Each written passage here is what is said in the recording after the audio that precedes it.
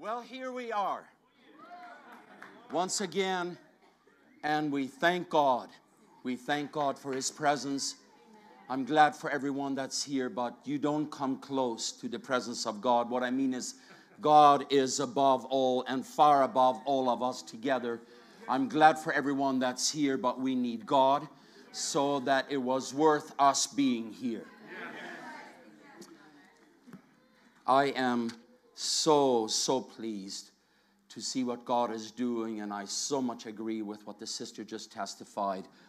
Brethren, we've got to get beyond all this fluffy stuff around us, this mamby pamby uh, thing, and get real and stop playing church and be what we need to be.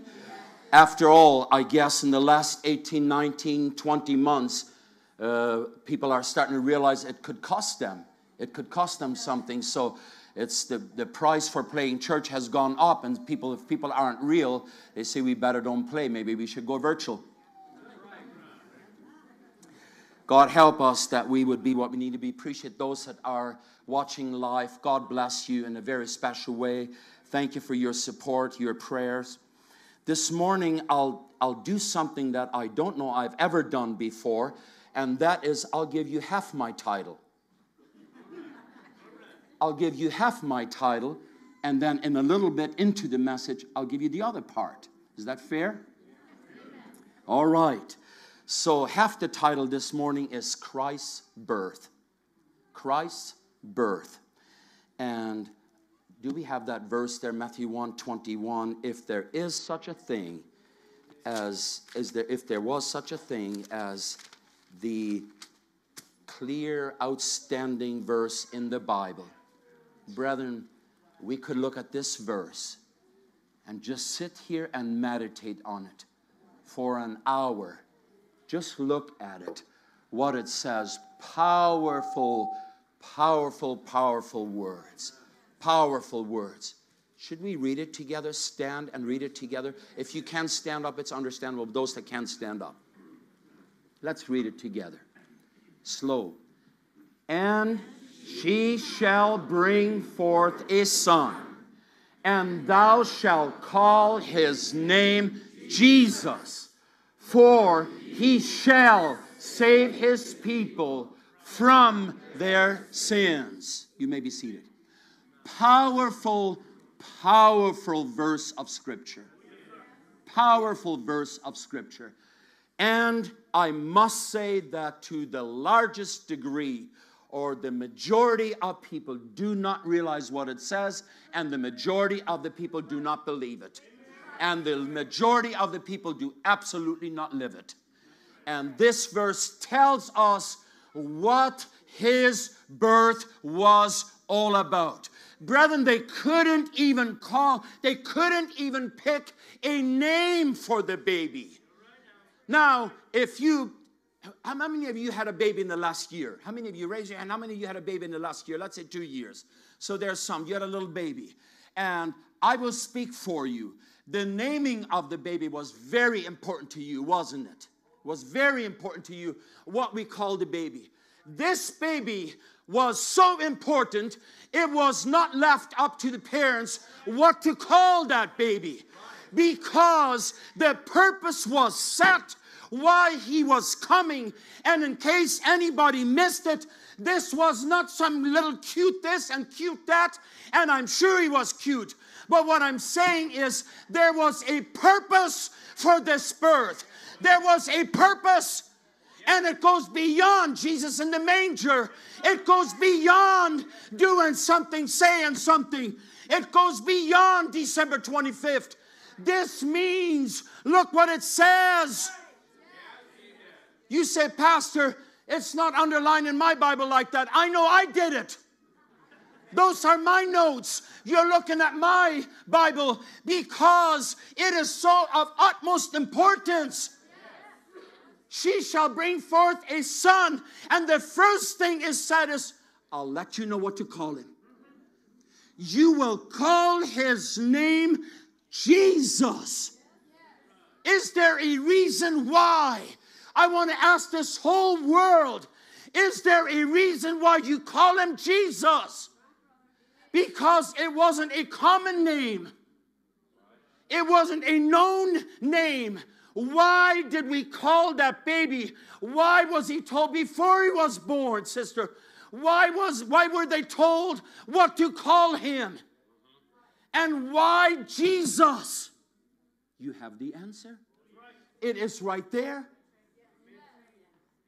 Now, well, I'll leave that part out. Okay, so um, behind Jesus, what do you see there between Jesus and the word for? What do you see between Jesus and the word for? Literally, what do you see? Okay, between Jesus and, and by the way, Jesus, capital letters.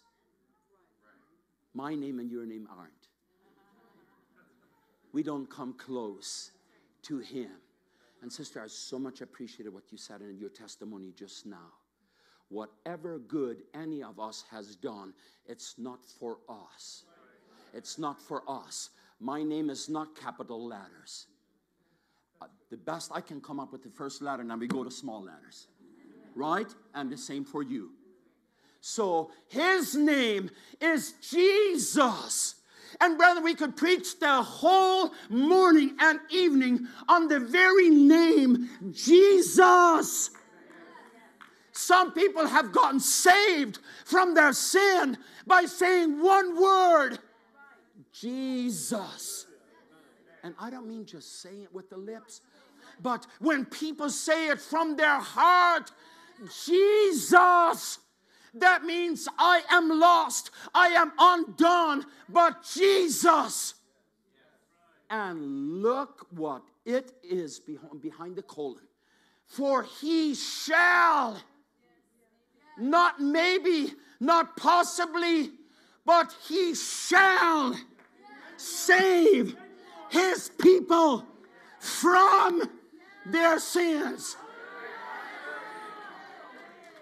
This baby Jesus. Now, no wonder, no wonder Simeon. You remember Simeon? When Jesus was eight days old and they brought him to the temple. I'm kind of jumping ahead a little bit. But so when he was eight days old and they brought him into the temple, and some folks, just like today, some folks would look at it, oh, let's look at his hair, look at his eyes, look at it. I mean, that's how women do it, and I, there's nothing wrong with that. To me, a lot of them look alike. I can't tell them the, the, difference. But those sisters come over and they, I mean, look at him. Look at his nose. Look at Simeon saw something else. Simeon says, sometimes old men have some real wisdom. And that's the way it used to be more and more. Old women and old older people, you could count on them for wisdom anymore in our day. They don't want to look old. They want to put all the uh, uh, three quarter inch layer of, of, of, of things on, maybe not that much, a little less. They want to put all that on. They want to look like 16. If you are 60, I wish you would act like it. And I wish you would not mind being 60.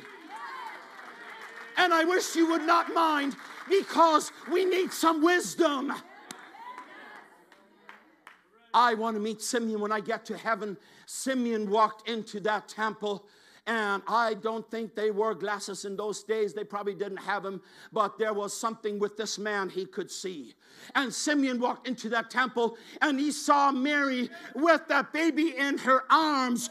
And he walked over there. And you moms, I know how it is. You don't give it just to anybody, right? That's careful place, especially when they're eight days old. Simeon walked over there, I say, as respectful as he could have done it. I don't know, doesn't say what age he was. I think it tells us of Anna how old she was, but it doesn't tell us of Simeon. But he was an old man. But, folks, let me tell you something.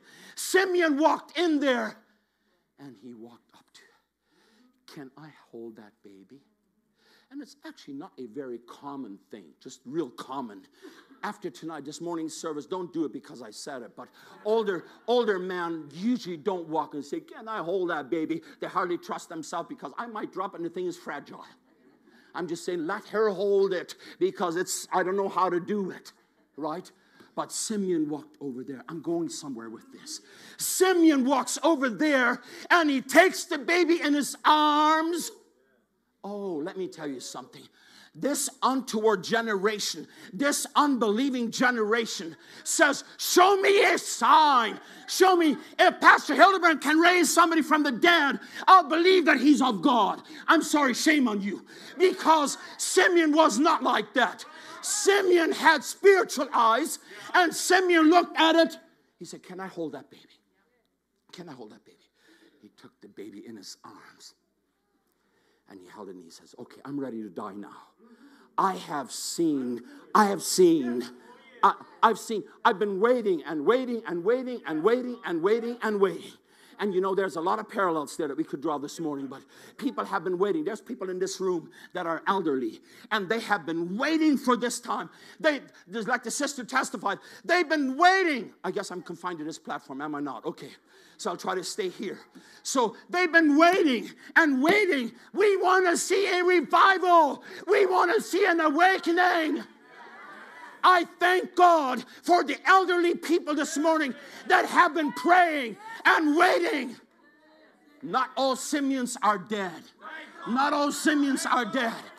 And there is Simeons right now that have a vision and they see what is going on and they say, hmm, hmm, I see something.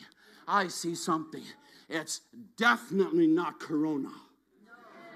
I see something in this. I see something is going on. This is what I've been praying for. This is what I've been waiting for. It is on the horizon. And Simeon took the baby and said, I'm, I, I, don't need to see anything else. But Simeon, what if he won't do this? What if he won't? It made no difference to Simeon. Simeon said, I'm convinced. I'm convinced. I've seen. And what's the Bible say? I wish I had that verse. Just comes came to my mind. Eh, blessed is he that doesn't despise the little things, or something like that. We're, we're blessed if we don't despise the little things. You know what? Simeon looked at that tiny. I don't know how, how much he weighed. I don't know how much. But you know what? I'll tell you this, and I'll say it as careful as I know how. Don't worry too much about his hair color. Don't worry about too much his weight and his length. But let's be concerned. Will this be a man of God? Will this be a woman of God? Because we need them so desperately and then whether that blanket fits exactly right, or that blanket is the right length, or that blanket came from grandma and grandpa, whatever. Let's be more concerned. What is in this child? Anyway, we'll go get back to this. So you see here it says Jesus, for he shall save his people. That's a promise. Let me just for a moment speak to those of you in this room that don't know Jesus. First of all, we're glad you're here. We're just really glad you're here. How else? The Bible says faith comes by hearing, faith comes by the preacher. God has ordained it that way. I realize we have a one way conversation going on here right now. God ordained that, not me. So you're supposed to hear that. But let me tell you, by the very sound of the name, Jesus. Jesus. And you know, when Jesus walked on this earth, you saw the amazing things. Remember the thief on the cross? He hung beside Jesus. And the thief on the cross was one step away from eternity, one step away from being eternally lost. Folks, that's tremendous. One step away from being eternally lost. And the change of attitude in a moment, the change of, I, I, I think it would be safe for me to say this morning I don't think I would do any abuse to the scripture. The thief on the cross just said, Jesus. In other words, I recognize you. What did he say? He said, Remember me. Remember me. And you know what? Oh, glory to God for that miraculous transformation in that moment of time. All it took. Oh, you say, so that's, oh, so I thought, I thought I thought it takes more. Oh, it takes a wholehearted from the bottom of your heart, recognizing I'm lost, I've done wrong. And then he looks at me, shall save his people from their sins. Your life doesn't, the sister testified, I don't really know you, sister. I don't know where you're from, but you know what? It doesn't really matter. It doesn't really matter. When, when God saves you, you're never the same. So people look at us. Why don't you all stand up on this side and you on this side? You may, you may be, you may be seated. I'm talking about these younger folks. You all stand up. If you don't stand up, it means you're old, uh, older. I said older, not old, older. Okay. So, you think we always were like this? Some of us were liars. Some of us were cheaters. Some of us were thieves. Some of us were troublemakers, some more than others, some a lot, some a little less. That's what this was. But look what God has done for us. You may be seated. Now, let me, let me give you an example, and then we want to go to another scripture. Let me give you an example. If someone is drowning in the lake, somebody's at Lake Erie and they're in there, they're drowning, and somebody comes and saves them from drowning, that means they're no longer drowning. If a drunkard comes in here and says, Pastor, for 30 years I've been an alcoholic and I'm constantly bound. I'm, this is a vicious, what do you call that, vice? Is that what it is? This is a terrible thing. For 30 years, I want to tell you something. Can I just preach, folks? Okay. So if I tell the drunkard, look, Jesus can save you, but tomorrow you will keep on being a drunkard. That is not gospel. That is not good news. The good news is if we can offer the drunkard, you can be saved from your sins. You can be pulled out of that life. If not, then we better close our Bibles and go home and let some fishermen get up here and preach who will tell it like it is. He will save his people from their sins. That was the whole point. We couldn't save ourselves. Humanity was lost. It's, it says people sat in darkness, didn't know where to go, just like our time just like our time. Folks, this world perhaps has never seen darkness as it is right now. And that's why, if we are just simply living a Christian life, we'll be a beaming light in this world. Without opening our mouth, we will be a beaming light because we're not in darkness. He has delivered us, delivered us from that. And when that person gets pulled out of the water, Oh, they're so glad he didn't drown, right? They're so glad. And news goes out. He was saved. He was saved. And if the next day they say, yeah, yeah, he's still drowning, you would say, that's a lie. That rescue was fake. And that's exactly what it is. When Jesus saves you, he makes you a new creature. The old thing is gone Oh, he makes all things new. And you actually, you know, our, our, dear sister Valentina, she was born in Italy. Would you mind standing up just a little bit? She's over. How old are you, sister? How old are you? Or, you, or is that private? Okay, you don't have to say it. I'll say it. I'll say it. She's past 80. 83, I'm going to be 84 soon. All right. Okay. So, I so badly, I so badly want to learn Italian.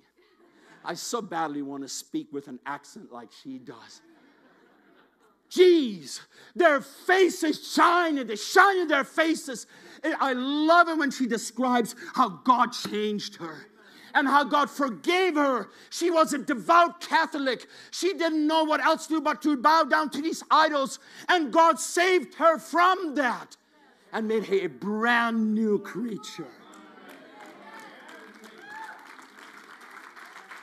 And when she first came, I, don't I forgot that year, that's many years ago. When she first came, and I know where it happened, where it all happened, on 59 Forest Street in Aylmer, I believe it was. 29?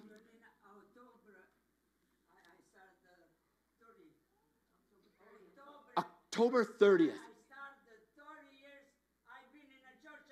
30 years, God changed her life. And she said, when she testified afterwards, she said, I couldn't deny that these were the people of God because she said their faces are shining. when you pray with someone and God lifts off, does just this, and God lifts off their load of sin. Ah, you know, sister, the old timers would call that praying through. They would be at an, at an altar of prayer and, oh, they would weep and pray. Oh, so you're talking about that torture? No, I'm talking about getting rid of rid of, the load of sin. And they would be praying and praying, my load of sin. Remember Pilgrim's Progress? That big load of sin. And all of a sudden, that load of sin is gone. Oh, I could fly. I could fly. Oh, they say, I feel like, I feel like, I feel like I weigh hardly anything. Oh, that load of sin is gone. That's what we need in this time. That's what we need in this time. Not some mamby-pamby, wishy-washy experience, but we need strong, strong experience of salvation where God has changed it from night to day. Well, if you do that, you won't keep many people. Well, let me tell you something. More important than keeping people is preaching salvation. And by the way, by the way, that prophecy is the wrong prophecy anyway, because if ever there was a time in the last decades, it is right now where people want to know what is actually going on. Oh, what a beautiful, beautiful, beautiful life that is. I think we should just take the time. How many Bibles are here? Raise up your Bibles. How many Bibles are here? Excellent. That's that's a lot of swords in our midst. Yes, I just said it. For you folks watching, for you lawyers following me as I preach, I just said it. We have a lot of swords in here. A lot of swords in here. And to make matters worse, there are two edged swords.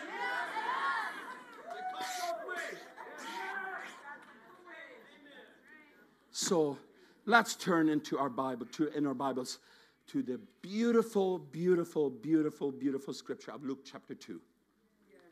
Luke chapter 2, verse 1. For those that did not bring their Bibles, we will show it here as well with the projector so that you can follow along. Let's read Luke chapter 2, verse 1. Oh, I hate this world for twisting and their propaganda and their, uh, what's another word for twisting? Help me out with some words. Some, for their, con, what's it called? Contortion. Contortion. What's another word? T- twisting. Distorted. Deceptive. Deceptive. Well, I got to stop because we're going to go on all the time. Okay. I hate this world for twisting everything and, and dominating and what's another word? Manipulating everything and doing this and all of that for money. But anyway, so I hate them for it. We're going to be just as simple Sunday morning people here this morning that want to take Luke chapter 2 in its original form and we just want to see what does it say. So let's see Luke chapter 2 verse 1 says and it came to pass in those days that there went out a decree. Serious? They had that problem those days? amazing, amazing. And then look what they did. Went out a decree from Caesar Augustus that all the world should be taxed. Well, I'd like to help you out. It's not exactly talking about taxing like we would know taxing okay? Because that we don't even want to hear, right? So this is a little different. This is talking about, let me give you some other words here. This is talking about being numbered, registered, recorded, listed, enrolled. They want to know who do we have? Well, I'm known for what I am, so may as well be that. You don't need to register me and you don't need to number me. Don't worry about me. I'll exist somewhere and it's fine if you don't know where I am.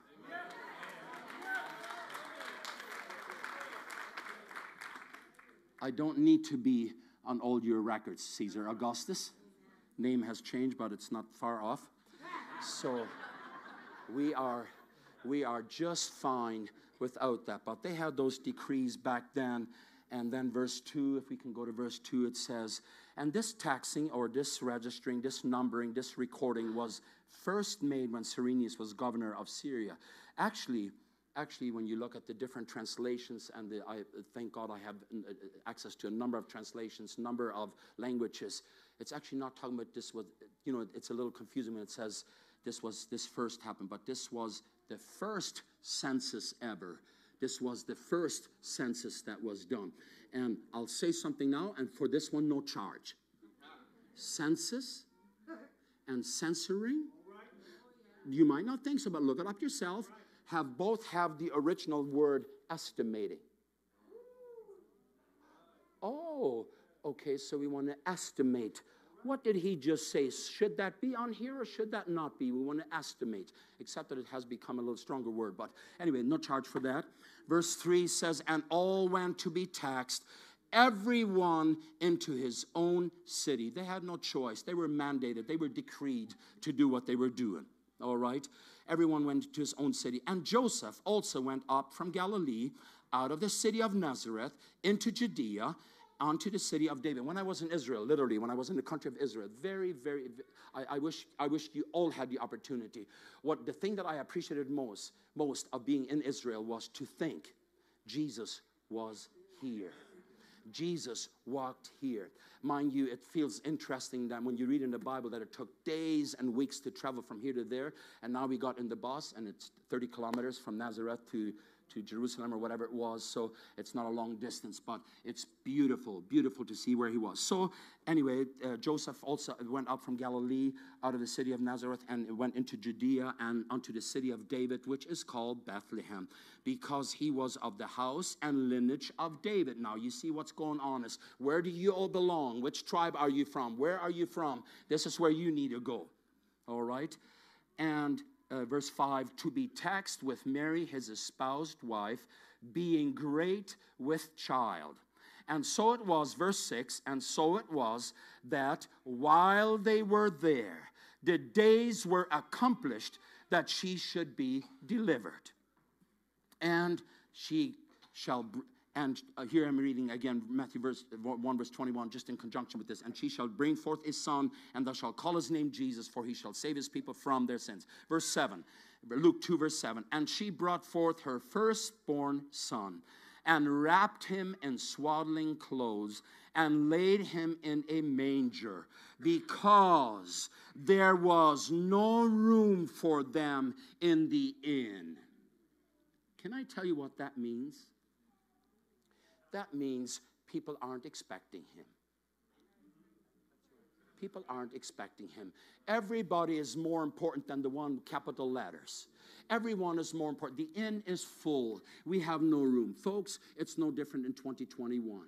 The inn is full. There's no, there's no room for Jesus. There's no room for God.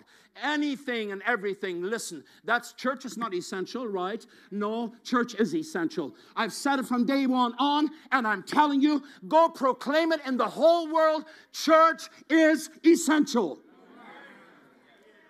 And whether there was room or not, it didn't hinder God's plan. It didn't hinder God's plan.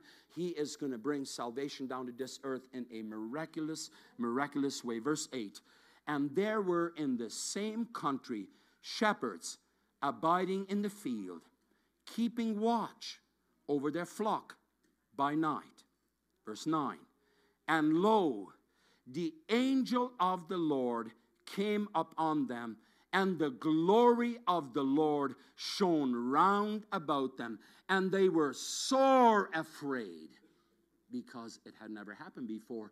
They didn't know what is going on. So they are in the fields. Oh, I wish we would not just in this Christmas spirit, read over Luke chapter 2 and just, okay, if we can get through this chapter, then we can get through that uh, uh, heathen Christmas, sorry, through that uh, tree, then we can get through that tree, and then we can get through those heathen sorry, get to those gifts, and then we can have all those things, and then we can celebrate the birth of Jesus. I'll tell you one thing. I'll tell you one thing. That's the furthest away in most people's mind is what exactly did he say? I don't know how easy that would be. Bring Matthew 121 back up. But I wish that everybody, and I wish as you walked into Walmart, I wish the verse was shown there. This is why this happened. This is what it was. He will save his people from their sins. Let the manager of Walmart say, Folks, we are glad you're at the store. We want to let you know that she shall bring forth a son, and thou shalt call his name Jesus. Let Walmart managers say, If anyone is not saved in this room this morning, well, Pastor, you have to understand, it's not a church. Maybe they should be. Maybe they should be. And maybe eventually they will be. When we can't be in here, maybe we should have church at Walmart. Whatever is left open in the end, maybe that's where we'll have church. And I'll tell you one thing by that time, the church, the Walmart manager might be ready to get saved because not all managers that are there are with the narrative. Not all managers, listen, don't be so judgmental thinking that everybody, all right, they are they're, they're written off. There's a lot of people in there. There's a lot of people out there living in desperate fear, holding onto their job with both hands. Anyway, we need to, sorry, we got off here a little bit.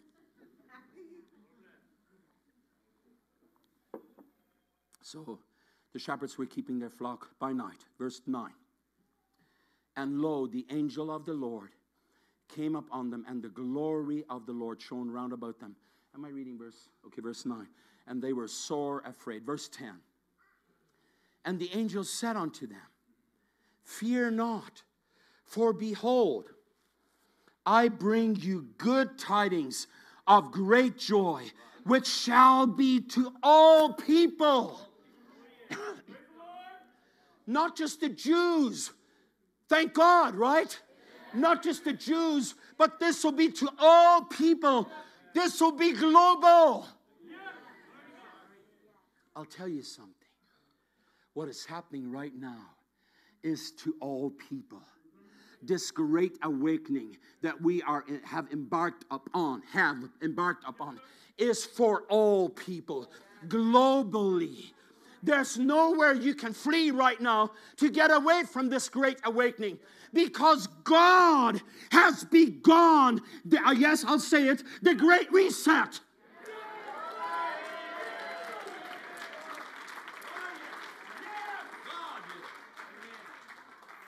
I was cross examined this week. They asked me this question Pastor, would you confirm that in one of your messages of the past months, that you made reference to this virus and that you said it is a conspiracy theory and that you said, this is what, he, what I was asked, and you said that Klaus Schwab and Bill Gates and Prince Charles are part of this conspiracy theory. I answered and said, I would definitely, need definitely not limit it to those three because there's more involved.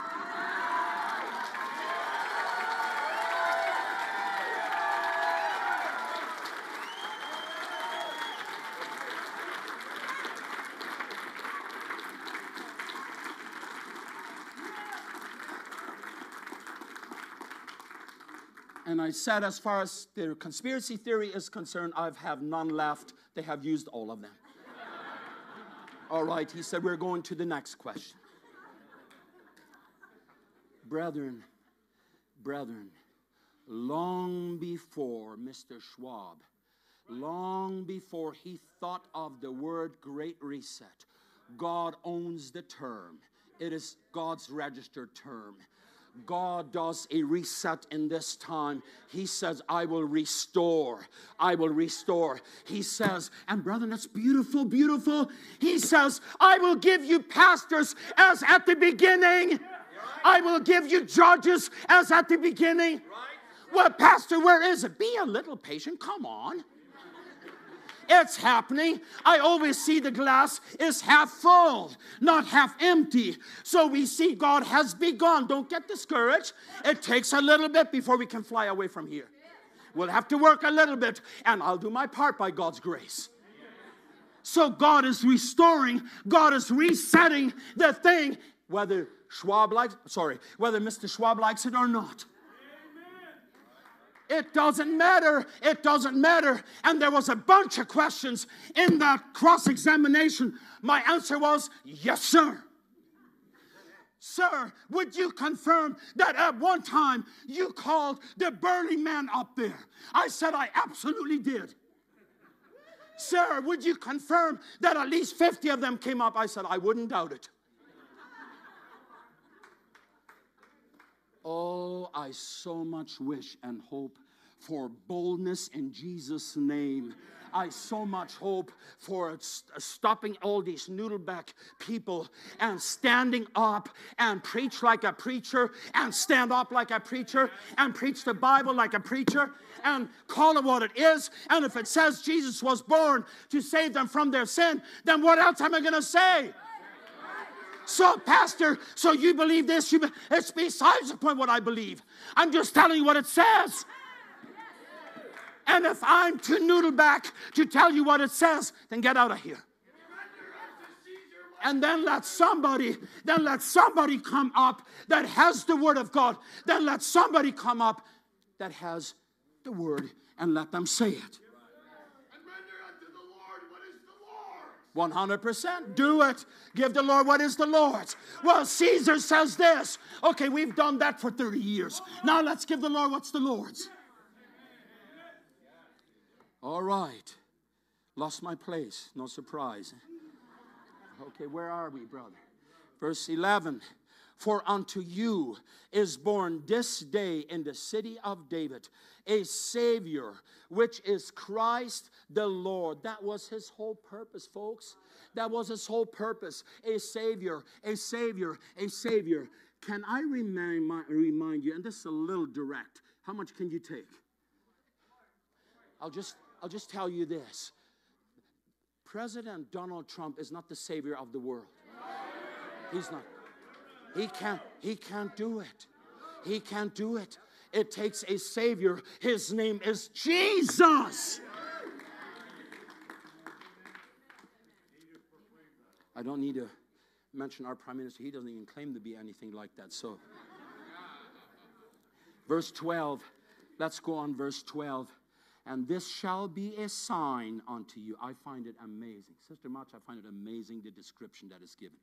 And this shall be a sign unto you. So here's the shepherds in the field, and the angels are there and calming the shepherds down. You know, sometimes we might be a little afraid at first, but thank God for the angels that sing goodwill unto man. I think I'm jumping ahead a little bit. Somewhere it's in here. All right, so he said, This shall be a sign unto ye shall find the babe wrapped in swaddling clothes, lying in a manger. And suddenly there was with the angel a multitude of the heavenly host praising God and saying, Glory to God in the highest, and on earth peace, goodwill toward men. Now, if anything is the opposite of what we have been experiencing, that's this goodwill towards man. Goodwill towards man. I don't know what would be the opposite, but something like coercion. I'm just saying goodwill and earth on earth peace on earth peace i don't i don't care how somebody looks at this verse but this calms you down and glory to god in the highest and on earth peace goodwill toward man. Or, in other words, whatever is good for man, that's what we come for. Now we want to set things in order. Brethren, really, that's what we've been preaching the last 20 months, maybe in just in so many words, is peace on earth, goodwill towards man. And really, and really, it really doesn't matter if you're sitting in this room this morning or you're watching live. It doesn't matter how deep you have gone in life. This Jesus, his blood that he shed reaches deeper. It goes underneath, it reaches deeper, deeper. But, Pastor, you don't understand how deep I've gone. I understand. But no matter how deep you have gone, no matter how guilty you are, it says what is, what is red uh, as crimson shall be white as snow. And when it snows out there, oh, I'll just throw this in, no charge. It's more important for many, many people, it's more important that December 25th is white as snow than it is that their hearts would be white as snow. And that's why we need to shout it out and let them know if you like snow, then get your heart white as snow. Let it be washed clean because he that's why he came for that very purpose. And it came to pass, verse 15, and it came to pass as the angels were gone away from them into heaven, the shepherds said one to another, Let us now go even unto Bethlehem and see this thing which is come to pass, which the Lord hath made known unto us. Verse 16, and they came with haste and found Mary and Joseph and the babe lying in a manger. And when they had seen it, they made known abroad the saying which was told them concerning this child. Verse 18 And all they that heard it wondered at those things which were told them by the shepherds. But Mary kept all these things and pondered them in her heart. Verse 20 And the shepherds returned, glorifying and praising God for all the things that they had heard and seen, and it was told unto them. So now I have no excuse but to give you the whole title. You thought I forgot. I want to give you a bit of a controversial title Christ's birth versus Christmas. Christ, Christ's birth versus Christmas. So now I'm a little bit on thin ice here. Now I'm a little bit in, in, the, in a territory that you might have never heard before. No worries. No worries. I thought somebody was walking out already, but it's one of the ushers. so that was that was too fast. I haven't even started yet. So I want to I want to let you know this morning, we are not at all, not at all troubled that you are here if you believe in what they call Christmas. I just want to tell you, we don't. Because there's two items, or there's two reasons, two main reasons why. One is when we see the commercialization of it, and second, when we see the heathen roots or the, the heathen uh, elements in it. You can't help but to say something doesn't match. Something doesn't match. So,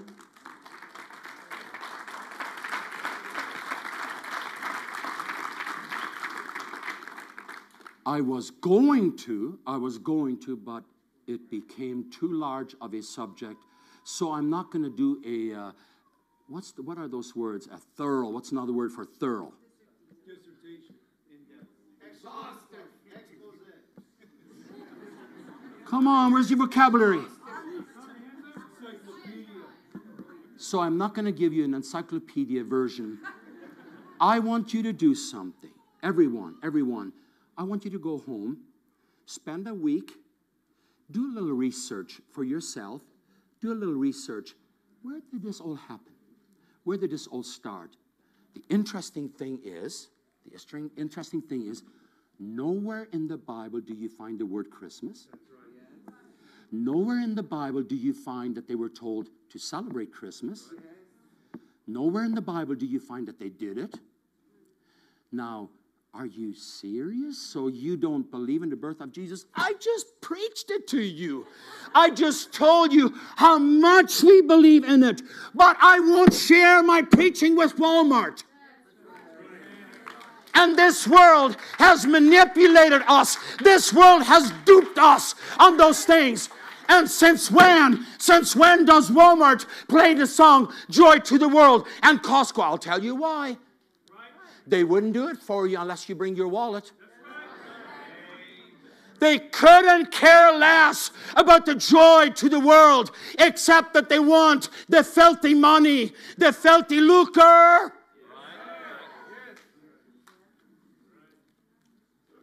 And then, and then, the scripture came to my mind. Can you take a little more, or is this about it?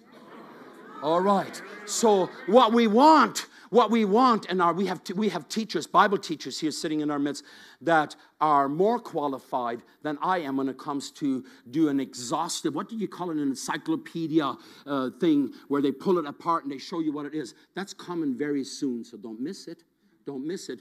I'm estimating, but I'm estimating, I'm just thinking that it's probably not this coming Sunday, but the following. I wouldn't doubt if you hear an exhaustive thing on it. And then we'll hear what Constantine had to say about it. And then we'll hear what this he said and what where this started. Why, if it wasn't in the Bible, when did it start? Where did it start? What happened with it? And when did when did Prince Albert and Queen Victoria, how did they get involved? How did that happen? What did Germany have to do with it? How did it come to America? How did it come to be what it is today that all of a sudden we are so diverse or we are so divided in this North American continent. But when it comes to this state, all of a sudden we all bow down to the image. Sorry, all of a sudden we all, yes, all in the same spirit. I'm not.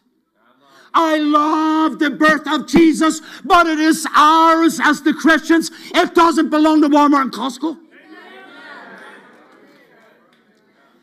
I'll step down just a bit and then I'll come back. Walmart and Costco didn't get a dime from me during these holidays.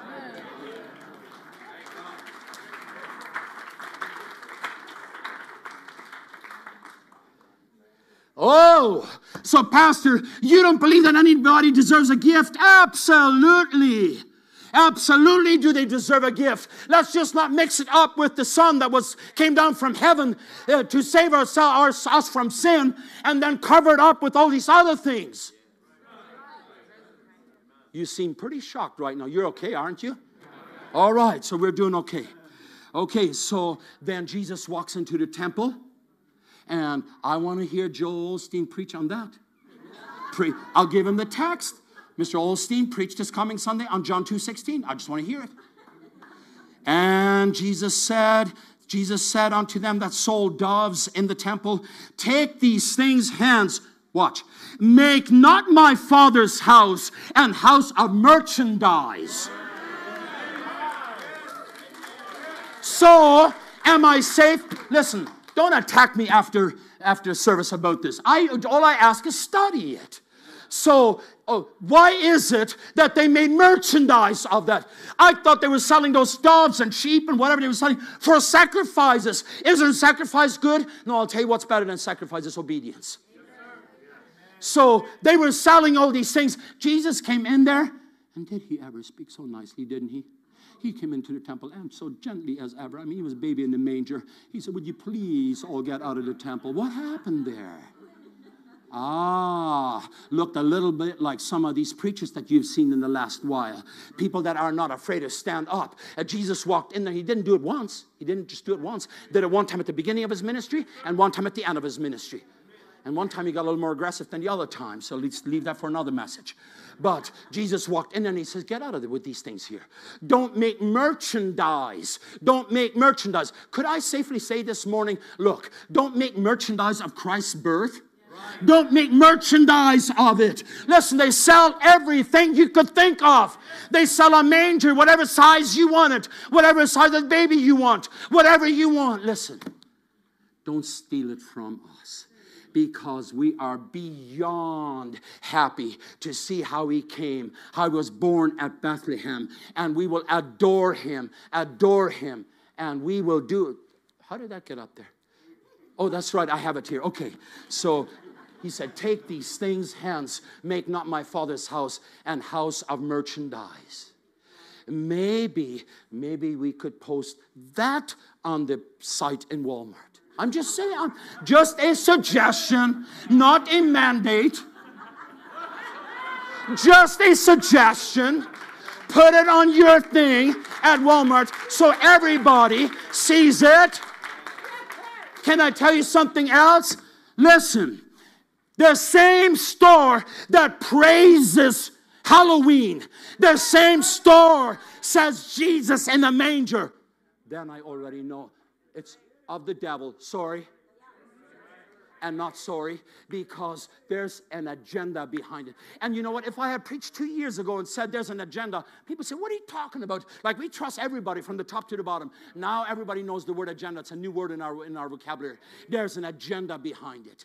Listen, whatever the public will want, that we will sell. And if Walmart knew, I'm sorry, Walmart, I'm a little bit on your trail this morning. But if Walmart knew that it would help to sell Halloween stuff, they would gladly play Joy to the World. Whatever will get your wallet out, whatever you will do to leave your last money there. Let me tell you, folks, sometimes you might be shocked. All of a sudden, you'll get here on a Saturday evening sometimes, and I might do a lesson on finances. And I'll preach on the sin of overspending on credit card because it drags you down to hell. I am serious because people are overspending for, for Santa who has never existed. Santa doesn't exist. Don't ever tell your children that. No charge for that. So, listen, don't spend and spend. If you want to spend, I never really say this. This morning I will. If you want to spend, go put the money in the offering box.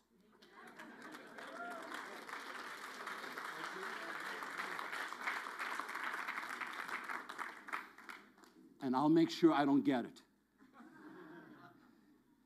Because I don't. Anyway, we'll leave that unsaid. All right. So this is this is what Jesus says, make no merchandise of it.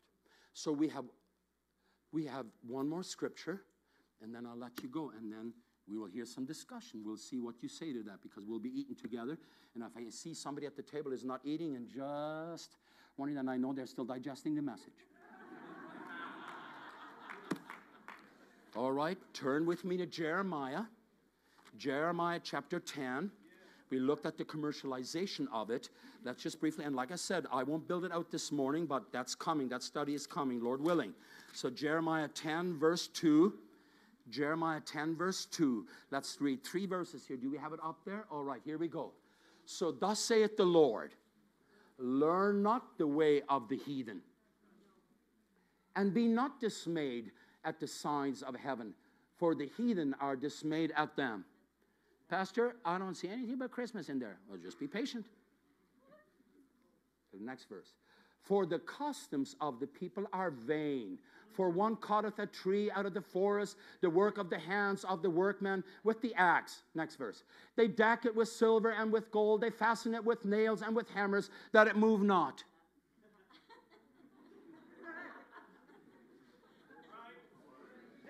Pastor, where is that written? Right there.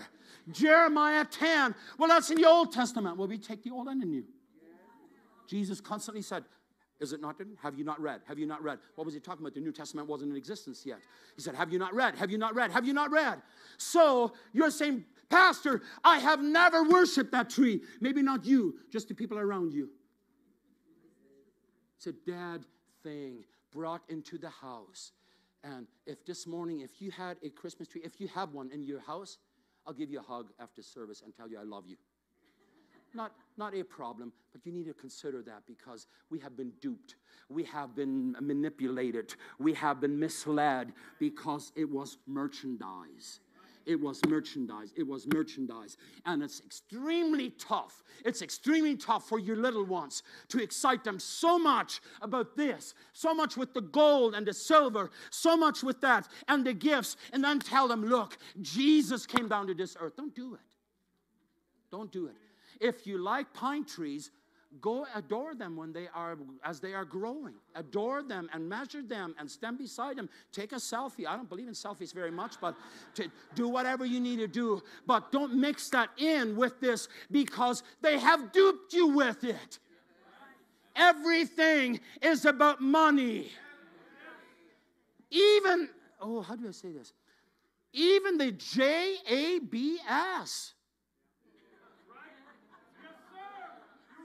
It's all about money, even the J A B S. It's nothing but the money. You and I are not falling for this. Brother Sherlock, we're not falling for this. We're not falling for this.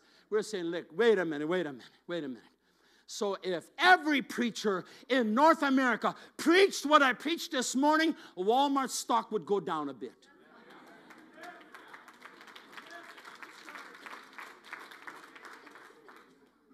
In due time it will anyway because God will see to it. God, they're not the Savior of this world. They're not there for the people. Listen, when you hear the term, this is for your own good, this is for the people, just look, look at the devil's face behind it because it's anything but that. So, Jesus said at the end of his message, He said, Have you understood? So, God help us that we would be a people that is awakened. So, now go home and study. And I really mean it. If you disagree with me, what I said in the second part of this message, which was Christ's birth versus Christmas, if you disagree with me on the second part, we will gladly discuss it at length, whatever you need. Just do yourself a favor. Don't show your ignorance. Don't talk too fast, too soon. Just do some research and find out where. So where did so where did this stop? Where did there's all kinds of information available. Cross-reference it and find out where history. Look at history. Find out. And if you find the word Christmas in the Bible, shout it in my face. Lord bless you.